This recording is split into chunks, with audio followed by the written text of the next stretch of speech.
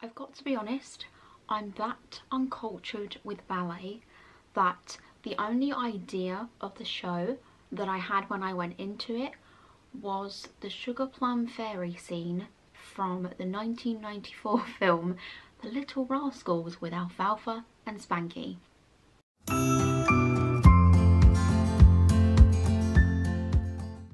Everybody, this is Zoe from No Safer Place and today I am here with a review of a show that I saw last night for the very first time. That show was The Nutcracker. When I say I went in with no knowledge of the show, I really do mean that. I've never seen a ballet or anything of the sort, so I wasn't really sure what to expect going into it, but it was like entering a whole new world after the initial first scene in the orphanage. It was just kind of like I'd left planet Earth and entered a new dimension. I went with someone who has previously seen quite a few different versions of the Nutcracker, so she was a lot more knowledgeable than I am and the opening scene was in an orphanage. Obviously I didn't know any different but that is something that apparently is very different to the original.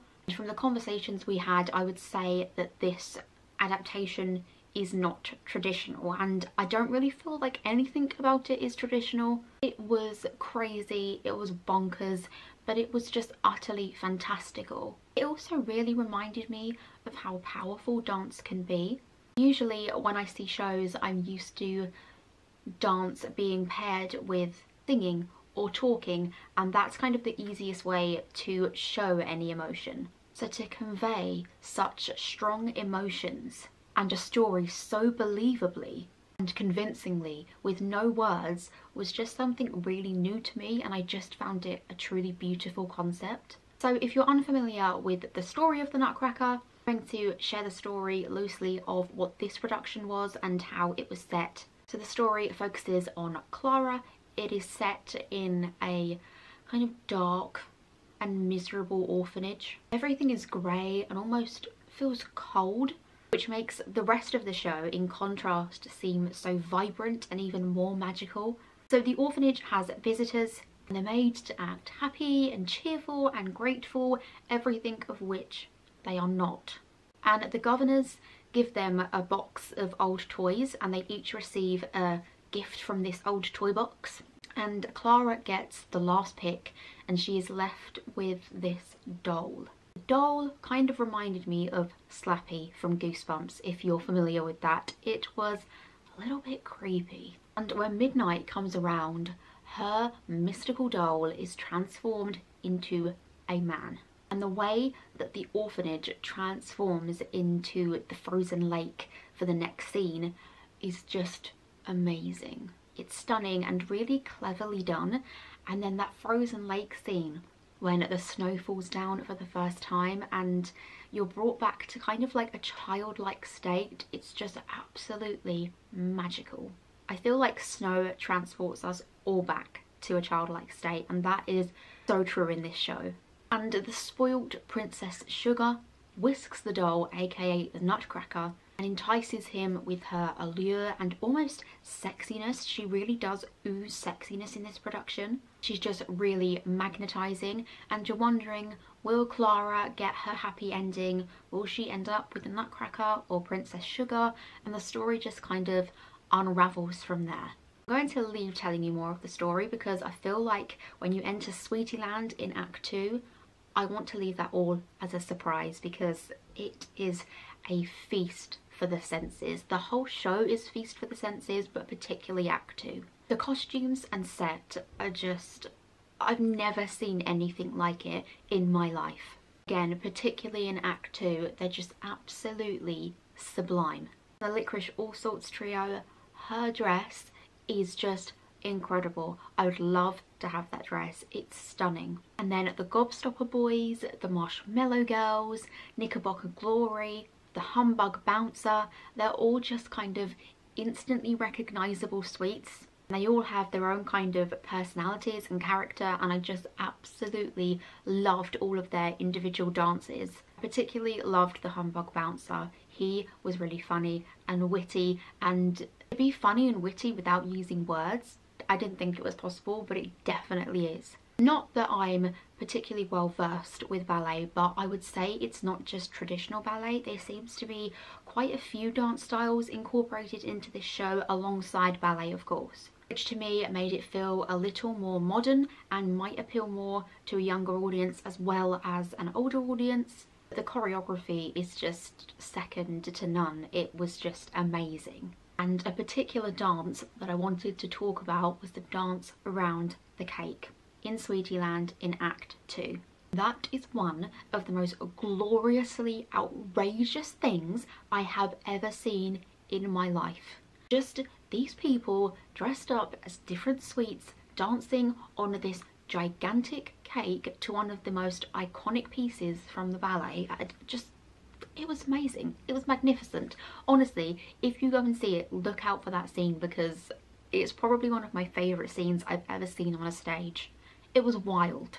And of course, a special mention must go to the orchestra because, let's be honest, they carry the entire show. Even if you have little knowledge of the show, as I say, I had no idea what I was expecting. I knew most of the music because they're such well-loved classics that people are so familiar with without even realising. Like there was so many times throughout the show where I was like, oh, know that song and oh I know this tune from there and this song from there. And the orchestra just played it amazingly so beautiful. They did get a standing ovation at the end which was thoroughly deserved. The entire cast was absolutely sublime but there were a few standout performances for me. And those performances were Shoko Ito who played Clara. I don't think she is normally the person that plays the role oh my god she was brilliant. She really kind of played the innocent and naive and really likable character. She played that so well and as an audience member you really were rooting for her which obviously was the purpose and you really cared about what happened to her and wanted her to get with the Nutcracker and find her happiness. So yeah, I thought she was incredible. Another person who I thought was amazing Harrison Dowzell. He was the Nutcracker and oh my god talent aside he is devastatingly handsome which obviously is meant to be the case and he definitely lived up to that role. He was just spectacular and his performance was just brilliant. It was really hard to kind of take your eyes off him because he was just so mesmerizing. But for me my favourite person in the show was Monique Jonas and she played Princess Sugar. Her performance really was something special. Every emotion was so easy to understand. Her storytelling was so unique and beautiful and just absolutely brilliant. I just found myself compelled to watch her whenever she was on the stage, even when the entire cast was on the stage. I was just drawn to her because she was just magnetising, absolutely magnetising show was just under two hours long so it was nice to go at half seven and actually be home at a reasonable hour for a change because usually when I go into the theatre it's a really late night but I was home by half ten. We sat in the stalls and we was in row E 28 and 29 I think. I will insert a picture here to let you know what the view was like. I loved about it is it made me feel really emotional. I teared up quite a few times throughout the performance and I felt almost childlike throughout it. It just made me feel like a child again and that I could just let loose and have fun and enjoy entirely what I was watching, just completely detach myself from everyday life. It was a much needed break from the world particularly after the past few years that we've all had. I think this is the show the world needs right now. Not sure how far it veers from the traditional story because obviously I've only seen this production. What I can say is it is bloody brilliant and if you have a chance to see it please go and see it because it is so so good. If you're like me and it's the first time you've ever seen a ballet this is the perfect one to pop your ballet cherry to because it's that good touring the country until April. It's in London until the 30th of January. I will leave a link in the description box below if you want to go and check that out. And are there any other ballets you would recommend after seeing The Nutcracker? Because I feel like I need to see another now and see if it's as good as that one. I need something to compare it to. I also want to say a thank you to Raw PR for inviting me to this event because I just had the most incredible time. Also have programs if you want to pick a program up and these were £6. I mean you can just see from the cover how absolutely glorious this show is going to be and it did not disappoint. Yeah, maybe we'll be getting some ballet reviews in the future, who knows. If you like this video, don't forget to give it a like, comment, subscribe, all that usual good stuff. Also, you can turn on the notification bell to be notified when I upload new videos, which is usually around once a week. I hope you all have enjoyed this video. Let me know what you would like to see more of on my channel, and I hope to see you all again soon. Thank you. Bye.